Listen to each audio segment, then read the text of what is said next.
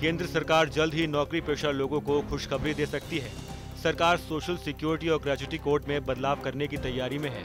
इस बदलाव के तहत अगर कोई कर्मचारी किसी भी कंपनी में एक साल काम करता है तो वो ग्रेजुटी पाने का हकदार होगा।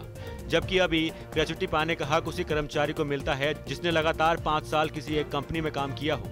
केंद्र सरकार इस बिल में संशोधन के लिए संसद के शीतकालीन सत्र में पेश करने की योजना बना रही है। इसे नौकरी पेशा वर्ग के लोगों के लिए बड़ी राहत माना जा रहा है। अगर केंद्र सरकार ये फैसला लेती है और बिल पास हो जाता है तो नौकरी पेशा लोगों को बड़ी राहत मिल सकती है। प्राइवेट नौकरी करने वाले लोगों को काफ़ी सहूलियत होगी। जो लोग पाँच साल से पहले अपनी नौकरी बदल देते हैं, नए नियम के बाद, एक साल के बाद नौकरी बदलने पर उन्हें ग्रेचुटी की रकम मिलेगी। आपको बता दें कि अभी ग्रेचुटी उन्हीं लोगों को मिलती है, जो किसी कंपनी में लगातार पाँच साल तक नौकरी करते हैं। पाँच साल से पहले नौकरी छोड़ने पर ग्रेचुटी नहीं मिलती है। ऐसे में सरकार ग्रेचुटी के लिए तय पाँच साल की लिमिट को घटाकर एक साल कर सकती है। इससे प्राइवेट नौकरी करने वाले उन लोगों को बड़ी सहूलियत होगी जो पाँच साल से पहले नौकरी बदल देते हैं। अगर बात करें ग्रेचुटी की तो ग्रेचुटी किसी कंपनी के लिए वफादारी के तौर पर देखी जाती है। ग्रेचुटी आपकी सीटीसी का हिस्सा होती है। इसकी ज़्यादा से ज़्यादा सीमा 20 लाख होती है। वैसे तो इसे हासिल करने में पाँच साल एक कंपनी में काम करना होता है। लेकिन कुछ खास परिस्थितियों में, जैसे कर्मचारी की मृत्यु या विकलांग होने की स्थिति में उसे ग्रेजुटी पाँच साल से पहले भी दी जा सकती है।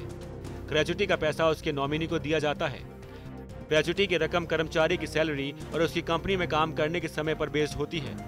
ग्रेजुटी की गिनती में बेसिक सैलरी, महँगाई भत्ता और कमीशन को मिलाया जाता है। ग्रेजुटी का पैसा कर्मचारी की आखिरी सैलरी और उस कंपनी में काम किए गए कुल सालों पर निर्भर होता है, जिस कर्मचारी को ग्रेचुटी कानून के तहत कवर किया जाता है।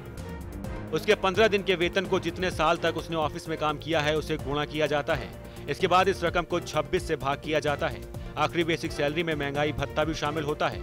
15 इंटू लास्ट सैलरी इंटू कार्यकाल divided by twenty 26 Rashtriya Swayamsevak संघ के मजदूर संगठन, भारतीय मजदूर संघ के महासचिव ब्रजेश उपाध्याय के मुताबिक ग्रेजुएटी के समय को पाँच साल से कम करके एक साल किया जाना चाहिए, क्योंकि कई संगठनों में 80 प्रतिशत तक कर्मचारी ठेके पर काम कर रहे हैं। अब संसद के शीतकालीन सत्र में इस पर मंजूरी मिलती है या नहीं, ये तो आने वाला वक्त ही बताएगा।